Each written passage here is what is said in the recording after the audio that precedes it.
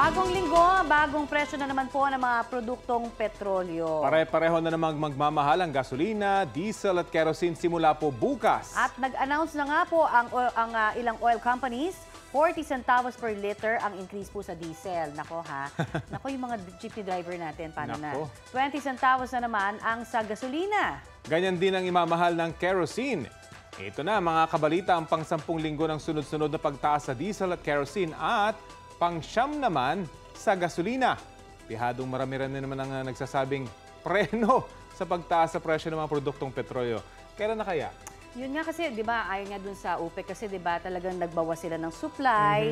Tapos at the same time, alam naman natin, Burmans, no? So, mas ma- maraming demand para sa mga malalamig na bansa ngayon, Mag-iipon para sila sa ng gas. oil oo, para sa pang-heater nila. Eh, tayo naman ngayon ng, ah, nako, magtitiis na naman. Hindi ko na nga alam saan ko kukunin budget ko Yung eh. mga hindi nagpo-produce ng oil. Actually, kahit yung mga oil-producing countries, nahihirapan rin sila. eh. Yes, so, hindi lang tayo yan. Oo. Dahil talagang yung mismong mga pinagkukunan natin, nagbawas din sila ng supply. Correct. Samantala, eto na, balita ko, hindi raw na konsulta ang economic team tungkol po sa price cap sa bigas. Sabi ni Finance Secretary Benjamin Diokno, nagulat siya at ang ilang economic managers na kasama niya sa Japan nang i-anunsyo ang rice price cap. Pero, dinipensahan pa rin po ni Diokno ang desisyon. Kailangan daw ang price cap para matigil ang hoarding at price manipulation ng ilang trader. Hindi naman daw pang ah, matagalan ang price cap. Tuesday last week, naging effective ang 41 pesos per kilo price cap sa regular milled rice at 45 pesos per kilo price cap sa well-milled rice. Eto naman, dahil lang sa asaran, nagrambol ang dalawang grupo ng kabataan sa Caloocan. Ako, chill lang mga kabalita. Yan ang exclusive na balita ni James Agustin.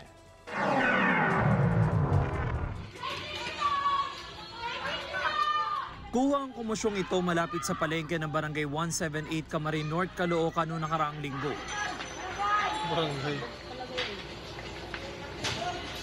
Nagtatakbuhan ng ilang kabataan. Ang iba may hawak pang pamalo. Kita rin ang pamamato nila sa kabilang grupo.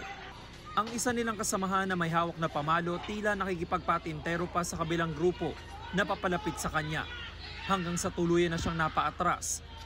Nang makalapit ang kabilang grupo,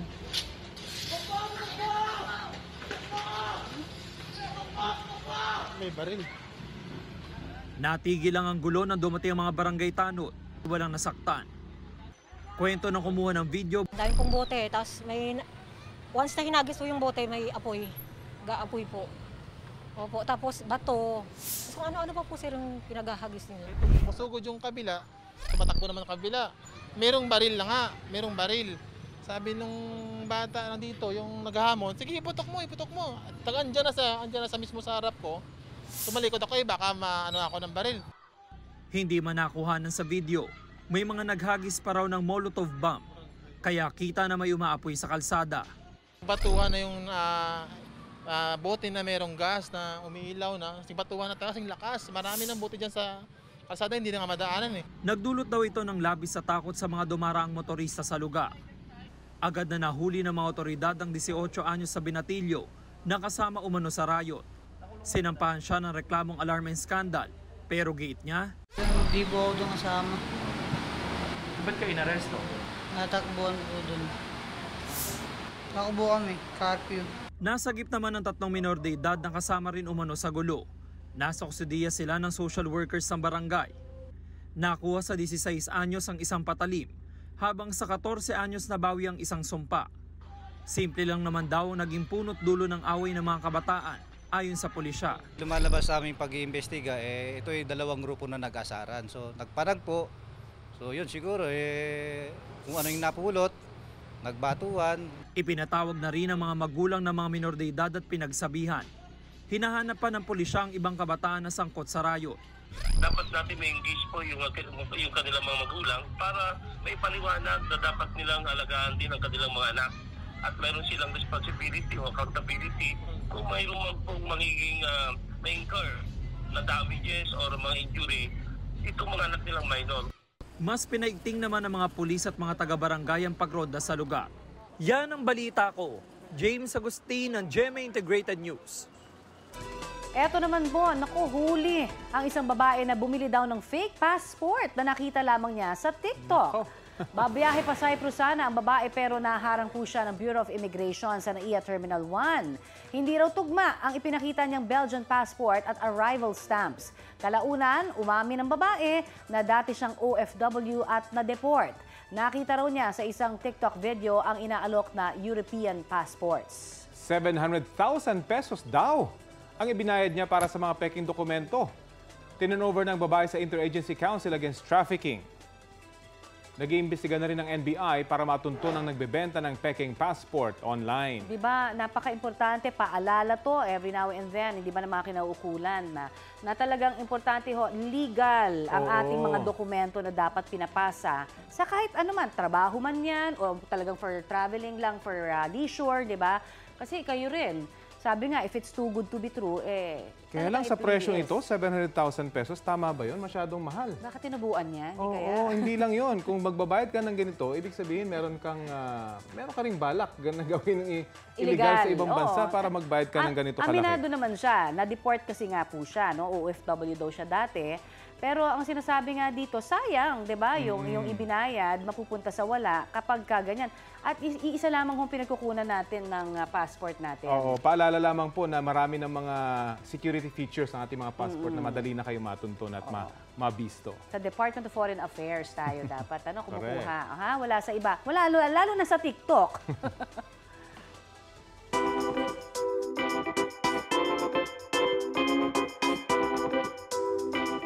Simulan na natin ang maiinit na entertainment news ngayong lunes. Maring Aubrey, anong latest? Heto na nga ang latest. Si Kapuso Primetime King Ding Dong Dantes balik sa kanyang director era. Si Dong kasi ang nag-direct sa isa sa mga episode ng top rating primetime series na Royal Blonde.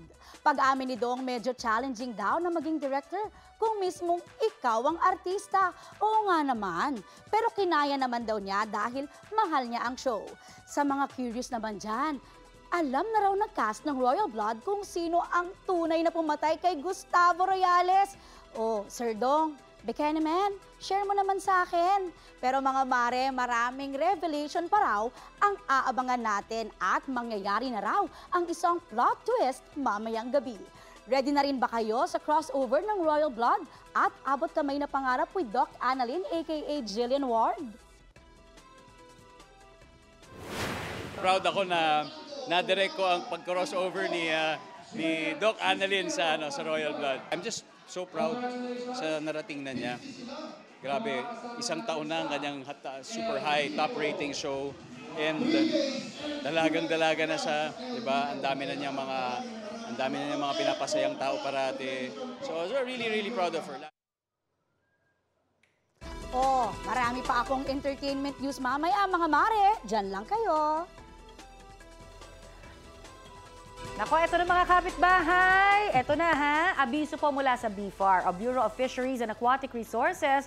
Positive po eh sa red tide ang mga shellfish sa coastal waters na sakop po ng Altavas at Batan sa Aklan, pati na ng ah, Washington sa New Washington sa Batan Bay. Maging ang mga shellfish sa Sapian Bay at sa dagat na sakop ng Panay, Pilar, President Rojas at Rojas City sa probinsya ng Capiz. Affected din po ng toxic red tide ang mga shellfish sa Gigantes Islands at Carles sa Iloilo. Sa Dawis at Tagbilaran din sa Bohol at maging sa Dumangkilias Bay sa Zamboanga del Sur. Dahil po dyan, bawal munang kainin ang mga shellfish at alamang na galing sa mga naturang lugar na yan. Ayon sa BFAR, pwede naman kainin ang mga isda, pusit at alimango roon basta, naku ha, basta po ha, sariwang huli dapat at hugasan ng mabuti at tanggalan pa ng mga lamang loob bago lutuin. Tandaan din po natin yan para iwas sakit sa ating katawan. Mahirap na, di ba? Tama. Ito naman ang advisory ng Maynila. Merong hanggang 16 hours water service interruption sa ilang lugar sa Maynila.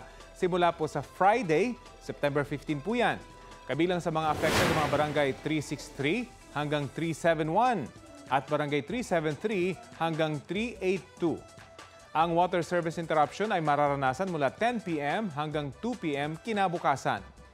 Dahil daw yan sa gagawing network maintenance sa Blumentritt sa may kanto ng Rizal Avenue. Ang sabi naman ng Maynilad, may mga water tanker na mag-iikot sa affected areas para mag-supply ng tubig. Eto na po, eto na, eto na, ha? Laba-laba, kula-kula. Kamusta kaya ang lagay ng panahon ngayong first day ng work week natin? Makikibalita na tayo syempre kay Katrina Son na nagbabalik. Katrina! Good morning, Connie! Mga kabalita, may binabantayang low pressure area ha, ang pag-asa inside and outside of the country. Kasabay iyan ng pinoproblemang volcanic smog sa ilang lugar sa Batangas. Maya-maya, isi-share ko ang mga reminder at dapat paghandaan. Eto naman, gusto nyo bang ah, maging adventure? Thank you pala ha, Katrina. eh, pero ito, Katrina, kung gusto mong maging adventurous sa mga lutuin, yung mga foodie dyan, kabalita nating Kapampangan, hindi pa huhuli syempre dyan. Yung ba, mga na tinatawag natin? na kamaru, peste man, kung ituring, pwede ring lutuin. Ay, totoo. Nakakain ako niyan. sa bayan po ng Magalang, ginagawang pinyahan ang kamaru. Eh, pwede rin hong gawing kaldereta yan, sisig at lumpiang Shanghai. Wow! Nutritious daw yan eh. Oo. Super nutritious. Ilang putahe pa lang yan ha. Ang Kamaro Umol Cricket na itinuturing namang peste sa mga palayan, nagiging bida sa hapagkainan dahil sa pagiging maabilidad ng mga kapampangan. Naku, alam mo, pare, nung ako'y ah, bata-bata pa. At malakas-lakas pa loob ko na Bata ka kumain. pa naman hanggang ngayon. Oo naman. Pero yung sinasabi ko, yung talagang kabataan na madali pang ah, magpasikat sa mga kakaibigan. Okay. Pinakain ako doon sa aking programa niyan at kumain ako. Yung walang, ano ah, kahit na anong sangkap ha, yun lang. Ro, hindi naman. Wow! Yun nga, sabi ko nga sa'yo eh. Kaya bata pa talaga ako Okay. noon. Pero yun nga, sabi nila nutritious kasi yung mga ganyang insekto talagang punong-puno ng nutrients. At uh, delicacy man yan sa iba, yung iba talagang uh, Yun talaga. sila para Oo. kumain ng ganyan. hindi naman hindi naman siya raw kasi masama din kainin yung raw, di ba? Parang pinakuluan naman yata nila. Pero walang sangkap na kahit ano, ha?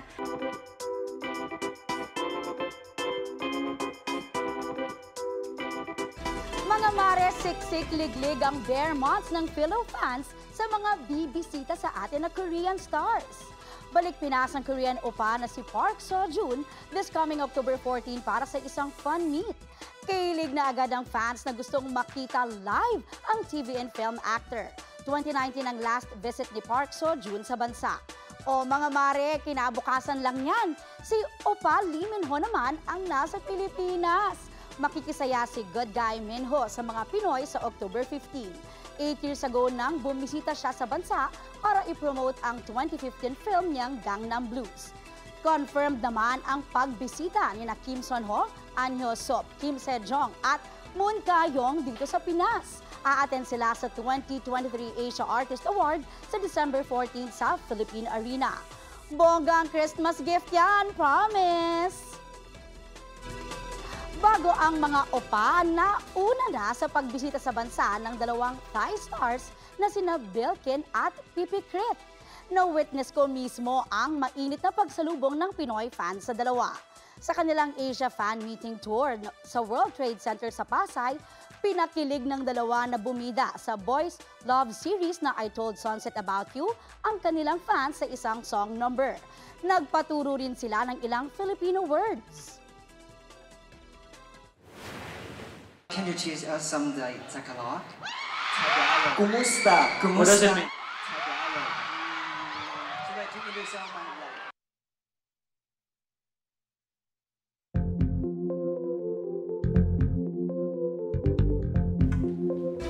Pag-usapan po natin ang ating kalusugan dahil pinag-iingat nga po ng PHIVOX at DOH ang mga kabalita natin dyan sa paligid po ng Bulkang Taal dahil sa tinatawag na VOG o Volcanic Smog.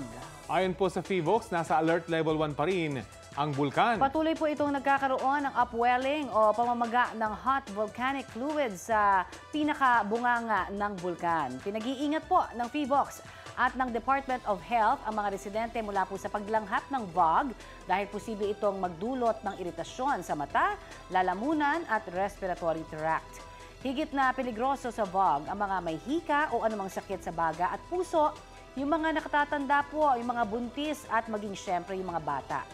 Ang ilang taga Metro Manila naman nangamba nang makitang balot sa usok ang kalangitan. Naranasan din ito sa ilang bahagi ng Central Luzon at sa Calabarzon. Ayon po sa pag-asa, haze naman ang tawag dyan. Ibig sabihin, mas mainit ang hangin na nasa mas mataas na bahagi ng ating atmosphere na kabaligtaran sa karaniwan na dapat ay mas malamig. Ipinapayo rin ng pag-asa na magsuot ng mask para mapangalagaan ang kalusugan mula sa haze. Samantala, dapat nga ba natin ikabahala ang ating mga nararamdaman ngayon na tila nakikita nating usok at na bumabalot po sa ilang lugar dito sa Metro Manila? Yan nga ang lilinawin natin ngayong umaga. Nakasalang sa balita ko ang pulmonologist na si Dr. Maricar Limpin. Good morning po, Doc, at welcome po sa balita ko. Yes, uh, good morning Rafi and Connie and good morning sa lahat ng mga nanonood sa atin. Opo, ito, balita ko, Doc, eh, talagang delikado itong VOG at saka yung haze, di ba, sa katawan ho ng ah, mga tao. Ah, paki-explain lamang gaano ito nakakaapekto sa atin pong respiratory tract.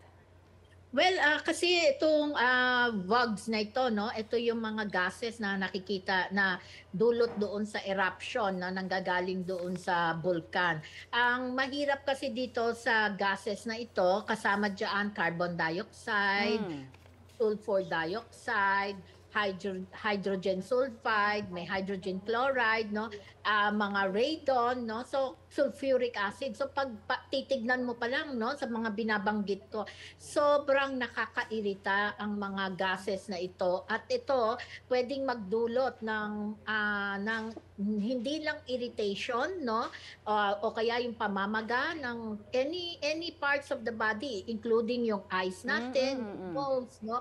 But ah yung yung pamamaga na yan can bring about also yung pagsisikip ng daanan ng paghinga. Kaya yung mga pasyente na meron talagang ah, respiratory diseases, no, katulad ng mga hika o kaya mga COPD, mabilis pwedeng mag-react sila dito sa mga gases na malalanghap nila galing sa eruption ng vulkan and ah, pwede silang sumpungin ng hika ah, o kaya ng kanilang COPD. Opo. Yes. At ah, Connie, no, hindi lang sa respiratory system ang effect ng mga paglanghap ng mga bugs na ito, but kundi maski sa cardiovascular system. Kaya- Yes, kasi pwedeng bumaba yung oxygenation no ng isang tao na pwedeng magdagdag sa pagpapahirap ng trabaho ng puso. Kaya medyo pwedeng at risk yung mga may sakit sa puso na Ayun. pumalya ng konti ang kanilang puso. Opo, ito kasi 'di ba na nababanggit nga ho natin yung mga sintomas na kanina, 'di ba? Pero halimbawa, ah, may particular tayo na age group eh, sabi niyo mga matatanda, mga buntis, mga bata. Kung wala ho silang ah, comorbidities, healthy talaga sila, pwede ba silang mag-develop dahil po dito kung matagal po sila na-expose na? Yes, oo. Kasi ang constant na exposure dito sa mga very irritating and toxic na gases na ito, substances na ito, no? Ah, pwedeng magkaroon ng pangmatagalan na problema, no, sa ating katawan.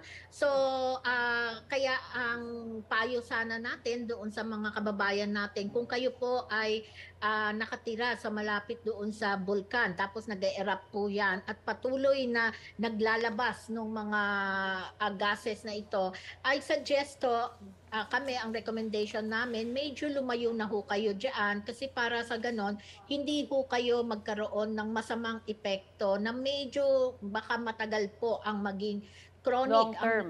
or long term yung effect nito sa ating kalusugan. Opo. Mhm. Ah, doktora, dito po sa balita ko, ibibigyan linaw din natin yung ilang paniniwala o haka-haka. Kaya ang tanong, talaga ba?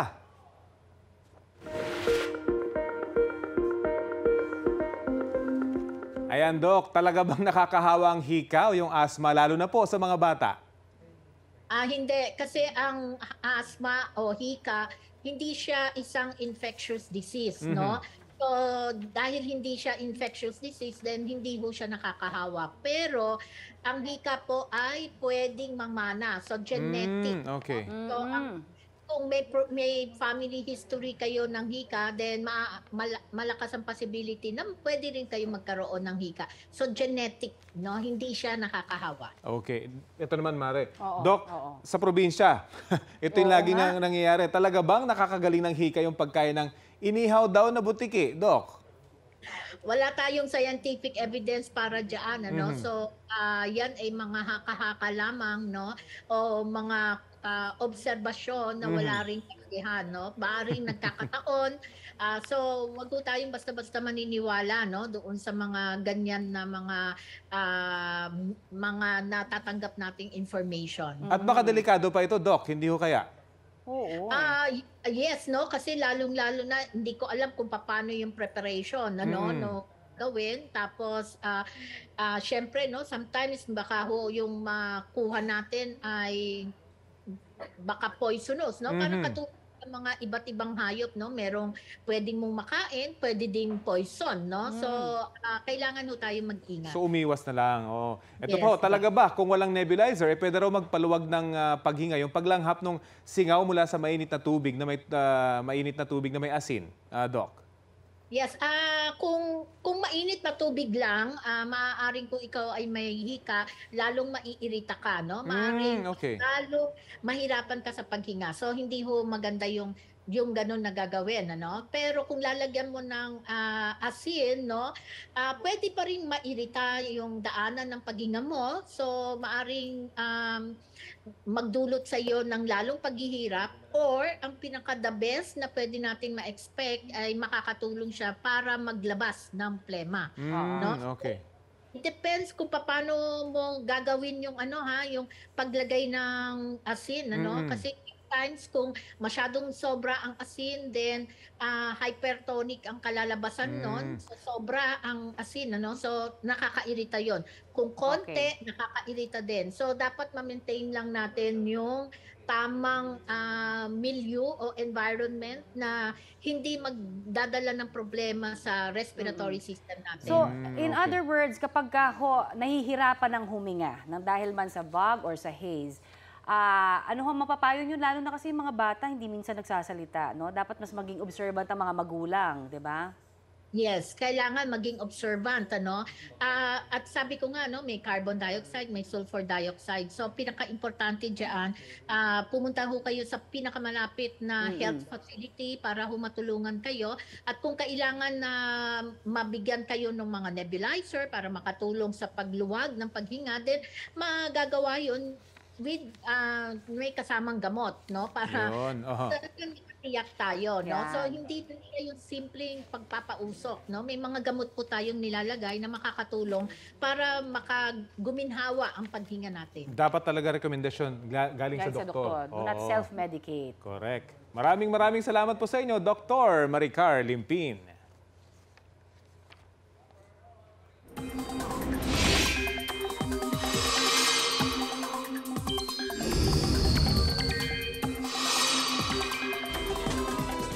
Mga kapuso, eto balita ko eh may dalawang LPA sa loob ng ating loob at labas ng Philippine Area of Responsibility. Kaya hingi na po tayo ng detalye niyan mula sa GMA Integrated News Weather Center kasama si Katrina Son. Katrina, dalawa yan. Naku po.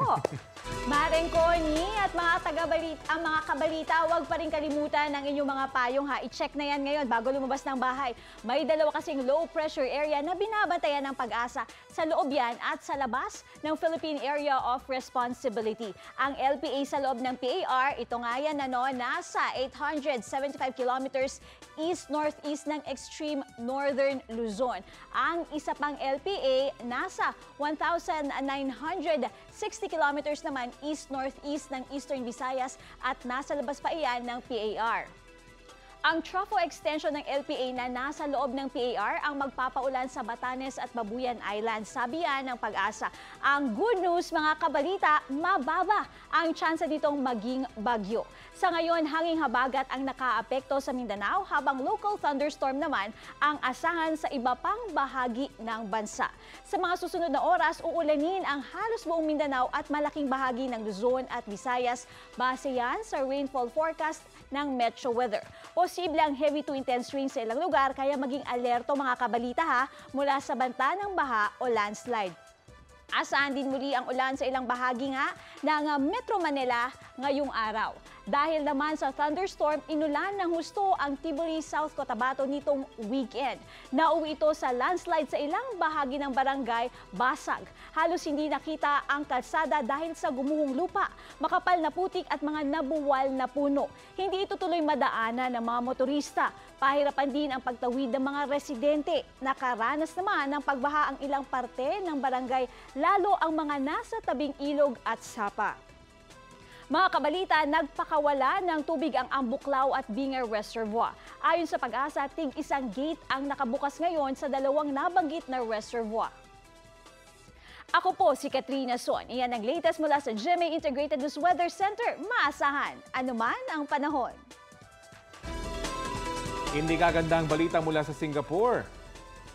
Namatay po ang ah, Philippine Eagle na si Geothermica o Geo. Ayon po yan sa Philippine Eagle Foundation. Isa si Gio sa mga ipinadala ng Pilipinas sa Manday uh, Wildlife Reserve sa Singapore noong pong 2019 bilang bahagi ng breeding loan program ng dalawang bansa. Kasama niya roon si Sambisig. Layon po ng programa na ma-preserve ang Philippine Eagle na itinuturing ng critically endangered species. Sabi ho ng foundation pioneer si Gio na mabigyan ng atensyon ang kanilang lahi. Wala pa kong detalye ng ikinamatay ni Geothermica. May new discovery sa Pilipinas sa larangan ng science. Balita ko ang Filipino-Canadian content creator na si Mikey Bustos nakadiskubre ng bagong ant species. Kwento ni Mikey, two years ago pa raw niya yun nahanap sa kanyang bakuran. Kulay itim at pula raw ito na may balahibo sa likod. Pinadala niyang specimen ng langgam sa kaibigan niyang sa UP Los Baños. Ang tawag daw sa langgam, Meronoplus bicolor. First time daw yan na ma-discover sa Pilipinas. Dahil dyan, si Mikey ang credited sa scientific discovery na yan. Nag-aalaga na raw si Mikey ng uh, colony ng naturang uri ng langgam. Wow, ang galing ni Mikey. Anong Galing. tawag dun sa ant na yun? Mikey. Pero meron, meron kasi siyang vlog eh. Oo. Meron siyang uh, YouTube uh, Yes. channel na talagang mga tungkol sa mga langgam yung Magaling kanyang, ah. Ah, uh, Mikey content. Bicolor. Galing. Ah, ito naman, nabalitaan kami, ito na, nabalitaan po kami mula sa ah, Bautista sa Pangasinan. May nabalitaan tayo doon. Oo, akala po namin kung una namin nakita eh, parang gulong-gulong ah, gulong-gulong sulat lang, uguhit Oo, lang. di ba? Pero art pala, o obra. Ayan, Yan oh. oh, galing oh. Yan ang style ni Jasper Leonardo. Ang tawag po dyan, scribble art. Uy, Ang galing. Parang nagsasayang nga lang ng tinta, no? Oo. May, may classmate kasi ako na niya nung high school. Oo. Akala namin, ang dumi-dumi lang. Eh, Ah, tapos pero yung nung pala- pagka tapos ng art niya, ang ganda. Oo, tsaka si Wally, ganyan din yung kasamahan natin dito. Correct. Meron siyang drawing ni na Michael Jordan, Mr. Bean, at si Sam Smith. Wow, ginawan po din niya ng scribble art ang mga integrated news pillar na, sina, na si Mike Enriquez bilang pagpupugay niya kay Sir Mike na pinapanood niya mula noong bata pa raw siya. Ang paggawa ng scribble art ang ah, nagiging stress reliever daw ni Jasper. May iniwan pang wise words si Jasper na related sa kanyang scribble art. Kahit gaano pa man daw kagulo ang kakaharapin, eh palagi lang tumingin sa kabuuang ganda ng buhay na puno ng pag-asa. Ay, ang ganda naman Perfect. nun. oo. Perfect. Well Ang said. At saka pag nakatingin ka lang na malapitan, Oo. akala mo gulo. Yes. Pero pag nilayo mo yung tingin, makikita mo yung kagandahan. Ayan daw ang point of view ni God, di ba? Correct. Yan. Galing. Magandang balita naman para sa mga rice retailers sa Metro Manila at Zamboanga del Sur. Simula na po daw kasi ngayong araw ang pamimigay ng DSWD ng 15,000 pesos na ayuda sa inyo. Mahigit tatlong daan na rice retailer ang makatatanggap po niyan. Tutulong naman ang ah, DILG sa pamamahagi ng cash assistance sa ilalim po yan ng Sustainable Livelihood Program. Tulong daw ito ng gobyerno sa kanila kasunod ng price cap sa bigas na ipinatupad noong pong nakaraang linggo. Naku naman, sana talaga naman maayos natin na yung sistema, di Tama. ba? Samantala, niradyohan na naman ng China Coast Guard ang resupply mission ng Pilipinas sa Ayungin Shoal. Sakay ng isa sa mga barko ng Philippine Coast Guard, ang GMA Integrated News Reporter na si Chino Gaston at makakausap natin siya ngayon. Good morning! Chino? good morning! Yeah. Good morning, Connie, Akdong. Rafi. Nandito ka na ba sa Manila? Naka, ano na tayo, nakatungtong na tayo sa kalupaan. Ayun. Ayan. Yes, yes. Oh. Okay, unang-una magpapakwento kami sa iyo ng konti muli ano para doon sa naging experience mo. Ano yung masasabi mo ah, sa iyong point of view? Nagipit na naman ba ng China ang Pilipinas sa pagbibigay ng ah, third no resupply mission itong Biyernes? hindi lang gipit ang tawag doon, Connie, at ah, Chino? Yes, ah, Chino, ah, medyo nawawala ka lang. Paulit lamang, Yes, ha? ah, yes. ah Connie, hindi lang ano yun, eh, no? Hindi lang siguro intimidation. Hindi coercion talaga yung coercion talaga yung nangyari doon no? sa ating ah, fly mission. Saan tayo nga nakasama dahil uh, makikita Oo. Mukhang ah, nagkakaproblema tayo sa ating linya. Chino, can you hear us? Yes, yes, I can hear you. I Ayan, can hear medyo you. nagchachoppy Ah. ka lamang. Sige, sabi mo nga, hindi lang panggigipit yung nangyari na ginawa ng China. Ano ang, Oo. ah, sa punto de vista mo, ano yung ginawa nila talaga sa atin dyan? So kasi ang uh, naranasan natin doon na uh, hindi lamang pang ano eh panghaharang, kundi pang tatakot o pananakot talaga yung nangyari no dahil isipin mo pa naman ah overtaken yung ating mga Coast Guard ship tapos sa ikakat sa gitna ng karagatan titigil sa gitna para tayo'y kailangan umiwas para hindi lang sila mabangga. Yun naman sa mga resupply ships na alam naman natin gawa lamang sa barko ay uh, pilit itong hinihiwalay nung uh, hindi isa, kundi apat talaga na Coast Guard no? Sobrang lalaki na pinipilit na i-isolate o ihiwalay itong uh, mga wooden resupply ships natin mula doon sa dalawang escort na BRP Cabra at BRP Singdangan. So, uh, nakita talaga natin paano sinasagawa nitong uh, Chinese Coast Guard yung kanilang, uh, well, parang nag-assert sila ng control, no? kahit mismo sa looban ng ating exclusive economic zone at legal na paghatid ng mga supply natin doon sa ating mga sundalo na nakaposisyon at nag-duty doon sa BRT Sierra Madre na alam naman natin din ay nakasadsad ayun. Tinitingnan namin itong mga video na pinadala nyo. Chino, talagang napakadelikado para ma-appreciate ng ating mga manonood. Kapag ka nasa barko ka, hindi naman pwedeng tumigil ka na lang basta-basta, hindi ba? May distansya ka dapat na ialat bago ka bago mo mabangga talaga yung ah, nasa harapan mo. Pero ito talagang pumupunta sila sa harap ninyo. Gaano ba kadelikado yon? Yun nangyari sa inyo nung biyernes. Yes, kasi ang ah, unang uh, naranasan natin pagkat doon sa BRT Sindangan kasi doon tayo naka ano eh, doon tayo nakapwesto, doon tayo na assign na ah, magbatid.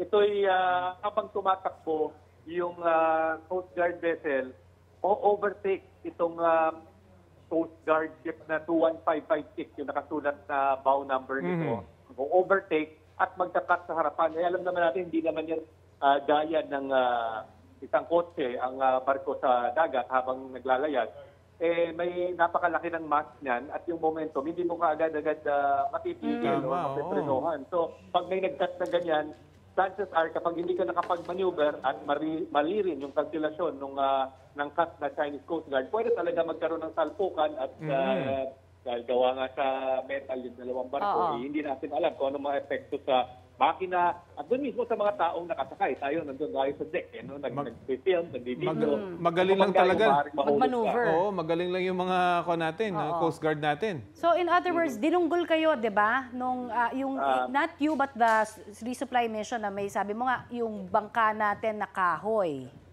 Yes, yes.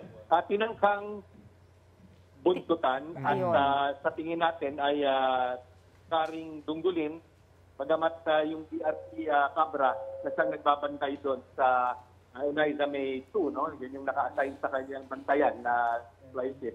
Ay ah, makikita talaga natin yung tapang at dedikasyon ng ating ah, mga Coast Guard personnel. Hinarang talaga, no, Connie at uh, Rafi, kita natin, hinarang ng BRP Cabra yung sarili niya para hindi makadikit doon sa wooden ship or sa resupply ship itong ah, Chinese Mhm. ah, Chinese Coast Guard. At ilang beses pa no parang uh, tinatakot kahit mismo yung mga PCG ship ay ah, tinatangkang ah, parang uh, tutumbukin pero Ayan, sa no? last moment Mhm. mag ano aalis Grabe. at uh, iiwan itong Coast Guard. Okay. okay. At hindi ito ang ah, huli, I'm sure, ah, na ganyan ang mangyayari sa mga resupply mission dyan sa Iungin. Maraming salamat sa iyo, Chino Gaston. Oh, ito na, Maring Connie ha. Bukod sa Team Barda na nakasama natin dito sa balita ko, eh kaabang-abang din ang iba pang karakter na magpapahirap kina Munin at Cardi. Oo nga, kontrabida to the max nga naman. Ano? At dahil mamayang gabi na nga ho, ang world premiere niyan, live nating makakakwentuhan dito po sa balita ko, ang isa sa mga kontrabida, si Mr.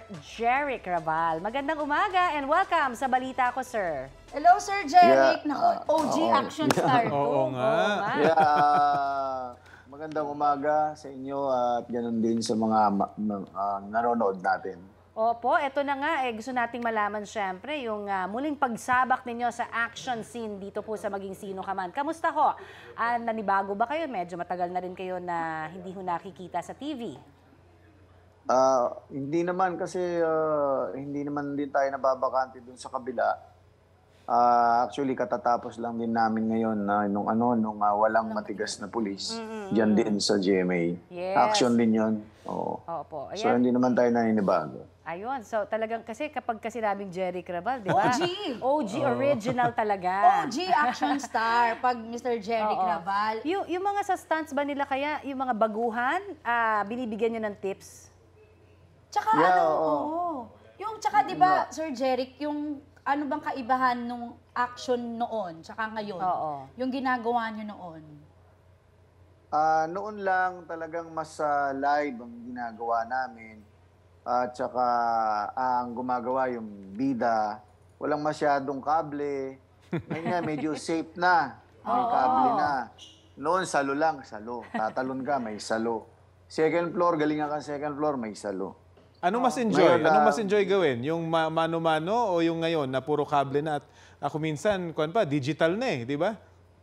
Ah, yung ngayon kasi, usually, ah, kadalasan daya.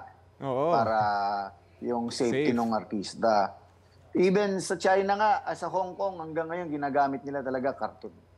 Mm, ah, yung Oo, mga hindi sila karton mag- pag bumabagsak. Talagang live, tinitira nila ng live yung, ano, yung, Oo. yung, yung stunt.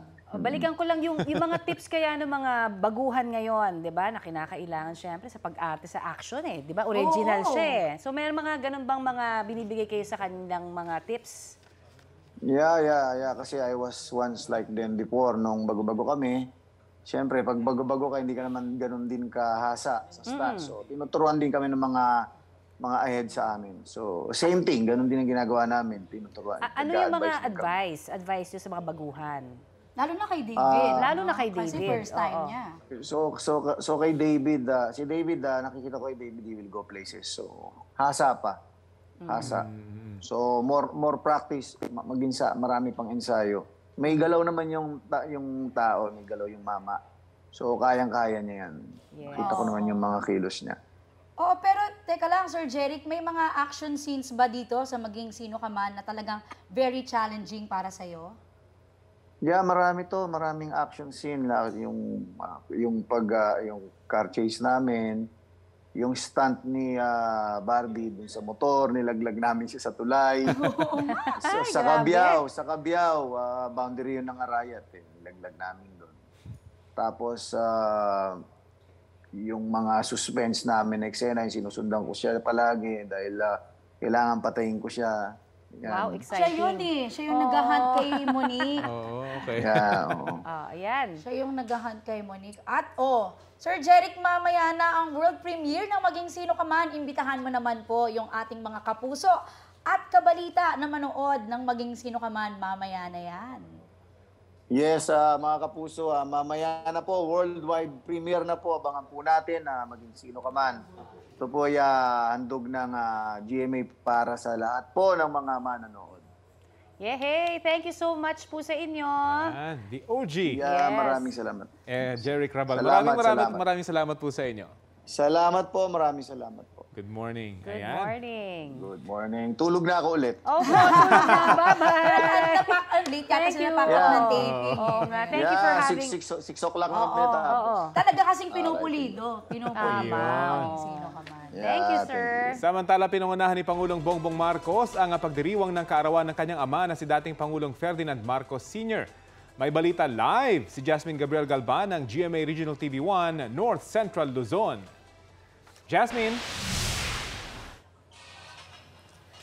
Rafi, pinangunahan ni Pangulong Ferdinand Marcos Jr. ang selebrasyon ng ika-106th birth anniversary ng kanyang ama na si dating Pangulong Ferdinand Marcos Sr. dito yan mismo sa Batak City, Ilocos Norte. Bago yung selebrasyon, dumalo muna ang Pangulo sa isang misa. Kasunod ng misa ay uh, ang wreath-laying ceremony. Nag-alay ng bulaklak si Pangulong Marcos sa bantayog ng kanyang ama. Sa mensahe ng Pangulo, pinasalamatan niya ang mga taong patuloy na kumikilala at naniniwala sa mga naging ambago na gawa ng kanyang ama sa ating bansa. Ipagpapatuloy din ng Pangulo ang mithiin ng ama na pagkakaisa ng bawat ah, Pilipino. Ganon din ang patuloy na pag-preserve sa mayamang kultura ng bansa. Samantala, Rafi, ongoing din ang launch ng Rice Paddy Art sa Mariano Marcos State University na pinapangunahan ng ating Pangulo. Ito yung kauna-unahan na Rice Paddy Art na ginawa ng universidad para sa Pangulo. Yan muna ang latest mula dito sa Ilocos Norte. Balik sa iyo, Rafi. Maraming salamat, Jasmine Gabriel Galban ng GMA Regional TV 1 North Central Luzon.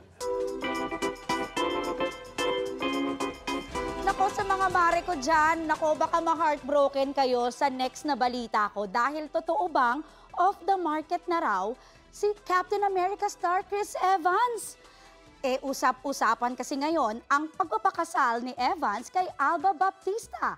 Ayon sa Hollywood Reports, intimate at private ang kasal. Unang na-report na in a relationship ang dalawa noong November 2022. Ay, ay, ano ba yun? Ay, di ba? Ba't kasama ba tayo sa na-heartbroken? Hindi, okay na yan. Ah, ngayon daw ang pinakamasayang tao, di ba? Dahil married na sila. Yes. Silang dalawa. Sila lang ang dapat nagmamatter. Congratulations na lang. Yes. Kahit may teary eye. Parang close tayo. ah. Hi, Evans. Eto, yan ho ang mga balita ko. Bahagi kami ng mas malaking misyon. Si Connie Season po ito. Aubrey Carampel. Katrina Son. At Rafi Tima para sa mas malawak na paglilingkod sa bayan mula sa GMA Integrated News. Ang News Authority ng Filipino.